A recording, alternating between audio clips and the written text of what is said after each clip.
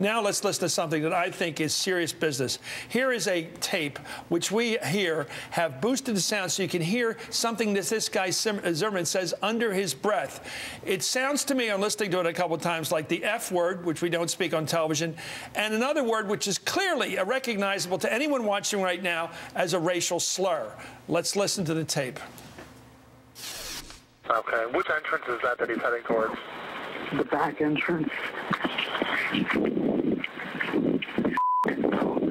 Are you following him? Yeah. Okay, we don't need you to do that.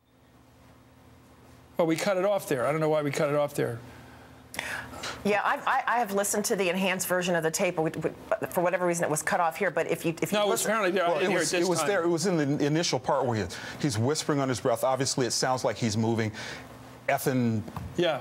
And I'm going to say it. Don't, I don't think we should hide it. Uh, the, the, American public needs to know. If you listen to that tape, he says "effing coon" under his breath. That yeah, is a racial I heard that slur. when I was back in the you, studio. You, you, yeah. It is unmistakable. It is undeniable. If you listen, to, uh, undeniable. If you listen to the enhanced version, that in and of itself makes it a hate crime. That's why the Justice Department is involved. It's why the FBI is going to have to investigate this case. And if state authorities um, do not prosecute and properly investigate this, we will see a prosecution, I believe, under the federal hate crime legislation.